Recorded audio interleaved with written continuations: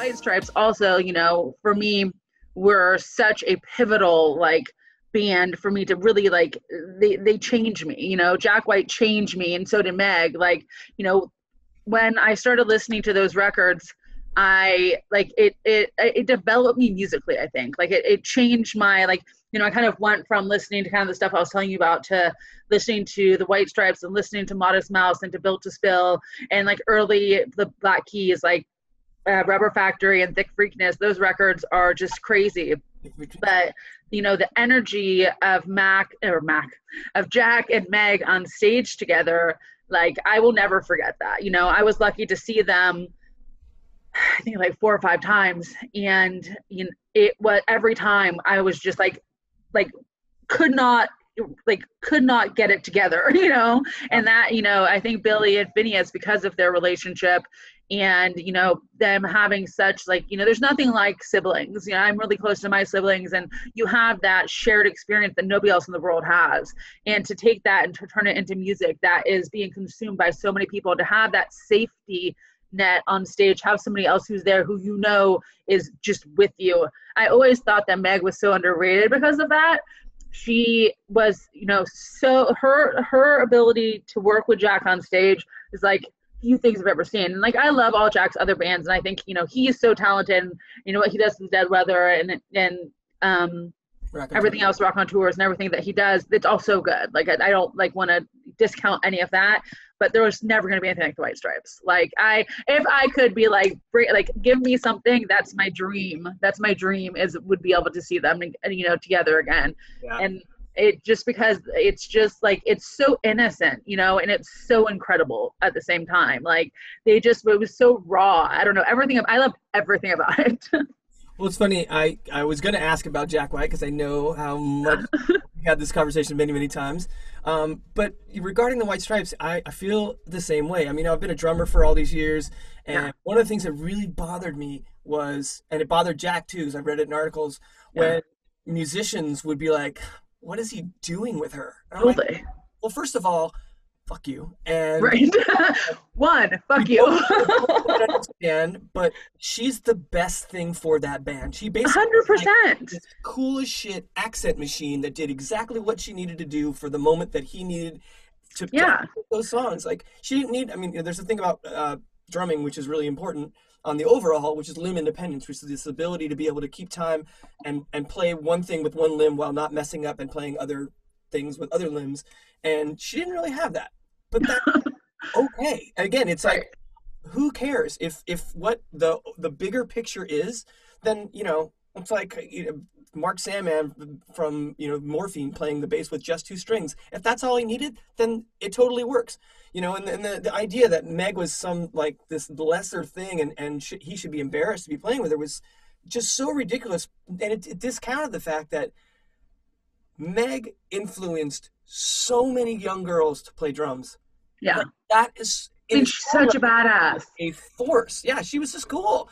And I loved yeah. it. She, you know, part of their style, everything about that band was important and and special and I would I'd love to see them get back together, but as you probably are aware, that seems pretty unlikely. Yeah, I don't think it's gonna happen. But and you know, I don't, I you know, I oh, never want to cheapen anything by being like get back together, make it work when it doesn't. Like if it makes sense and it should work, then great. But like I don't ever want to force anything. I also believe and I think as both kind of being music snobs and being like very precious about like the bands that we love, I have I always have this feeling, especially with the bands that I hold closest to my heart, that like I feel like I get them. Kind of like I was saying about like young people who have that like sense where they're watching Billie Eilish and they think they're like, wow, like I get her and she gets me. That's how, how I also feel about the bands that like I love so much. Like with the right White Stripes, if you don't get it, then like it doesn't matter. They're not for you.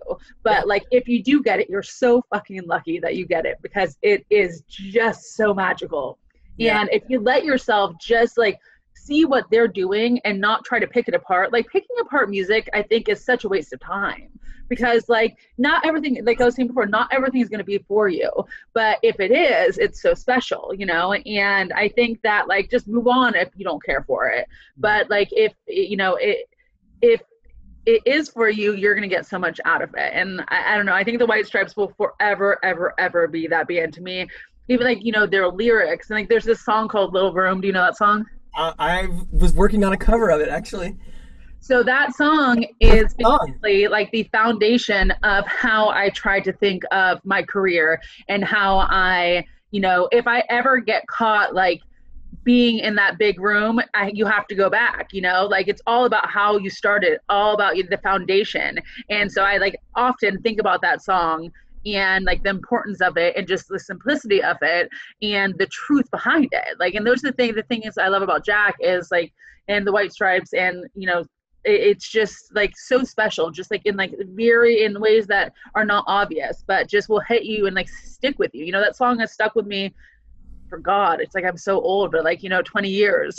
Like it's, it's, really fantastic. You know you mentioned the, the lyrical content of it. It's it's uh, well you know it's, the generation of an artist essentially. And and you know keeping it grounded and all that stuff. And it, it reminds me a lot of um, when mgmt came out with their first you know the, the, the one great record that that, yeah. that I don't know whatever happened after that, but um, well, I mean, what's crazy is that one great record will take you a long way. like people oh, still want to see that band because that one great record, you know. Three best songs of the decade, I thought, yeah. on that record, you know, uh, and, and, "Time to Pretend" is is in, in, a lot of ways like "Little Room" in that you yeah. know this dream of wanting to be this thing, and and again the the imagery and the lyrics of it, it's just so special and so great. Um, you know, you talked about you know artists and, and bands that like stick with you and if you get it you get it and if you don't eh, whatever you know i was it's probably no surprise to anybody who knows me and you probably know this too but like i was a huge fan of the verve to the point uh-huh. where i follow them around like like almost like the grateful dead you know yeah. well they finally broke up again for the however many time but anyway um i remember vividly you know like this being the early 90s and going being in that room and looking around and everyone had this smile on their face the same kind of look it was like you're cool you're like, yeah. you, understand because at that point it wasn't like there wasn't MTV or there was but it, it wasn't they weren't like a, a, a big band on MTV at that point. So if you if you were into them you knew about them you were kind of in on some cool little secret and it was just such a special vibe. And that's why I, I felt that way about the right, White Stripes as well. A few other bands you know it's always yeah. we mentioned music snobbery but we're we're lucky to get in at the at the ground level but the reason why we get at the ground level because we care about this shit. Totally. 100% we're in